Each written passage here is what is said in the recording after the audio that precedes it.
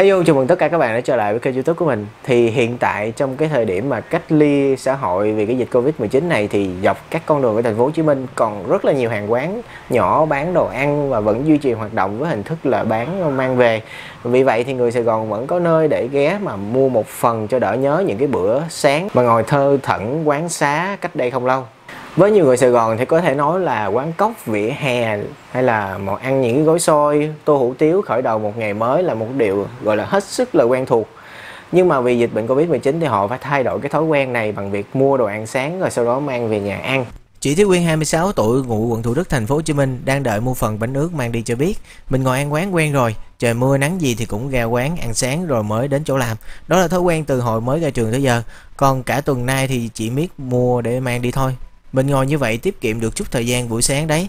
Nhưng mà thói quen nên nhớ ngày trước thật. Nên duyên vợ chồng nhờ ngồi quán cốc vỉa hè. Và gần 10 năm nay hai vợ chồng anh Đặng Ngọc Bình 37 tuổi quận 9 Luôn giữ thói quen đó. Bởi thế anh có thể nhờ đó mà tình cảm giữa hai người luôn mặn nồng.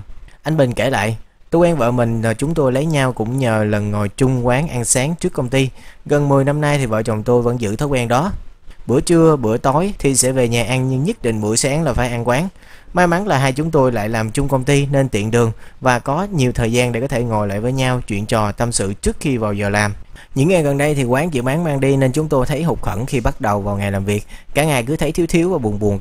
Một số người có nhiều điều quan trọng trong cuộc sống gắn liền với hàng quán, từ những kỷ niệm, tình bạn cho đến những câu chuyện và cả công việc hàng ngày của họ đều xuất phát từ ngồi hàng quán cốc lề đường. Chị Thu Hường, nhân viên văn phòng quận 3 thành phố Hồ Chí Minh đã chia sẻ: Minh và ba người bạn làm chung phòng không cần hẹn. Cứ nghiễm nhiên là 6 giờ rưỡi sáng thì mọi người đều đến quán quen ở đường Võ Văn Tần quận 3 Gần công ty là thấy họ ở đó rồi. Ăn đôi khi cũng không phải là chỉ vì hợp khẩu vị mà còn là vì câu chuyện hay. Chuyện gì cũng có, vui buồn hay dở đều tâm sự với nhau.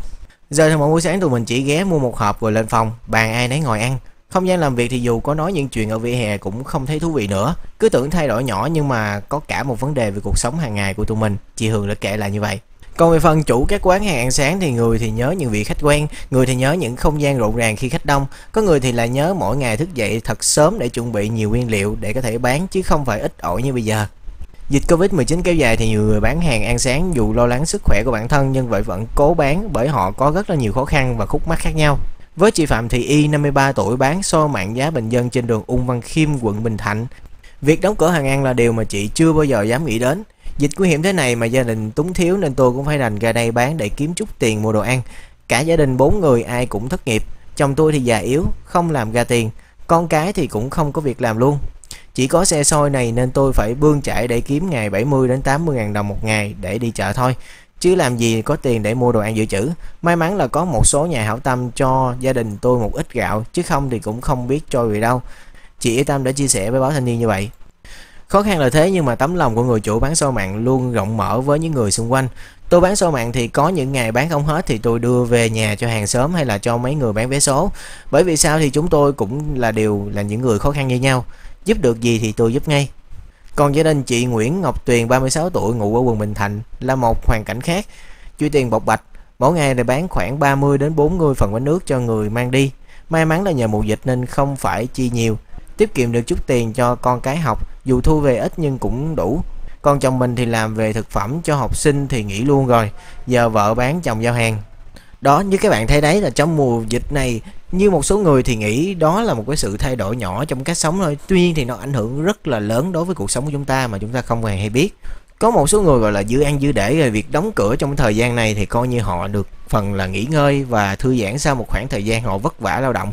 Tuy nhiên thì có một người tuy nhiên thì vẫn có một số bộ phận và một số người họ đang uh, vào cái hoàn cảnh rất túng thiếu và cộng thêm cái tình trạng mà nghỉ cả tháng trời như thế này thì thực sự họ sẽ rất là khó khăn và video chia sẻ về thông tin này của mình đến đây là kết thúc. Cảm ơn tất cả các bạn đã quan tâm theo dõi video này. Xin chào và hẹn gặp lại tất cả các bạn trong các video sau.